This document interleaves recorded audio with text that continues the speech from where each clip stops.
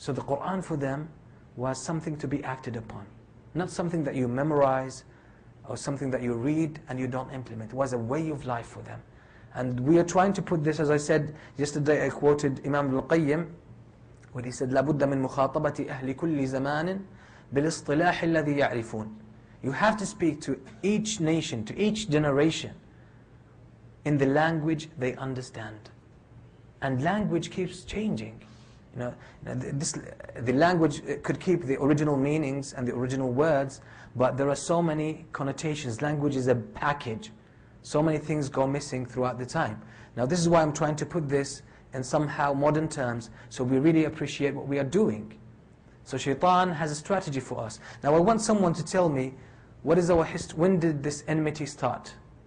Let's take a historical background. When did this enmity with shaitan start? Since the creation of Adam. Who can give me details? That was a later stage. There's a stage before that. There was even one before that. Excellent. When, yeah, when Adam first was created, and before the soul was blown into him, Shaitan came and he, che he checked Adam, and he realized that he was hollow from inside. He was hollow. So he said, لَإِن صُلِّتُ عَلَيْكَ لَأُغْوِيَنَّكَ أو لَأُهْلِكَنَّكَ If I'm given power over you, jealousy started from that time, from day one. That's the reason why shaitan has this enmity, jealousy. He realized Adam was a special creation.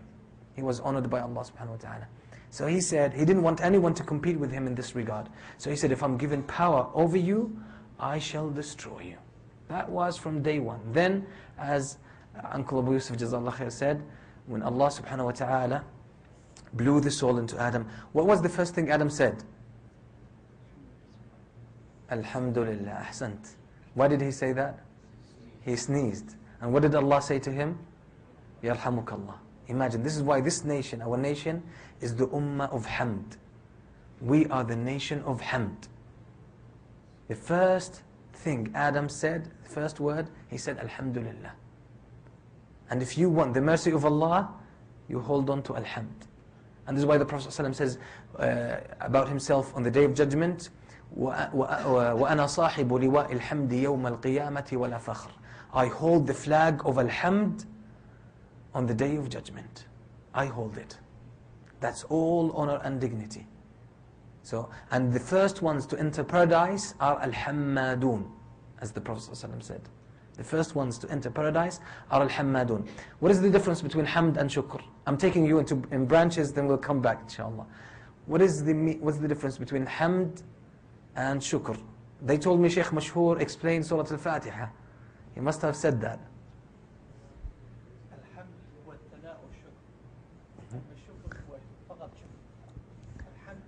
Okay.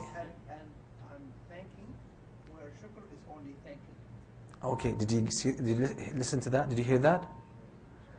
Shukr is thankfulness, and Alhamd is thankfulness and praise, yes? Who agrees with that? Who disagrees? Who's not sure? okay. Basically, uh, a shukr is thankfulness. You thank somebody for a favor they, they did to you or they, made, they did for you. That's it. And thankfulness could be in actions or words. So you can be thankful in your attitude, in your behavior, and you can be thankful by what? Saying thank you. That's thanks. But alhamd can only be done with the tongue. Only with the tongue, alhamd. Because it's praise. It is praise. But the word praise carries very little meaning compared to alhamd. Now alhamd, what it means, you thank someone for a favor, yes? But alhamd, you make alhamd for Allah subhanahu wa ta'ala because His, His names are the most, are the perfect. And His attributes are the complete attributes. So you, alhamd is due to the greatness of Allah. We thank Allah because of His favors, but we praise Him because of His greatness. Because He's the most perfect.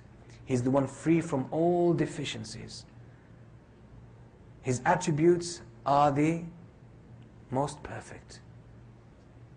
And the, the, the, the issue of the names and attributes of Allah subhanahu wa ta'ala is just a different world. It's a different world. And it's the shortest way to paradise. Imam al-Qayyim says, uh, إن عبادة الله بأسمائه وصفاته أقرب طريق إلى الجنة. طريق سهل قريب موصل أكثر الناس في غفلة عنه. لا قطاع فيه ولا خطر يعتريه. سبحان الله. It's the shortest way to paradise to worship Allah subhanahu wa ta'ala through His names and attributes.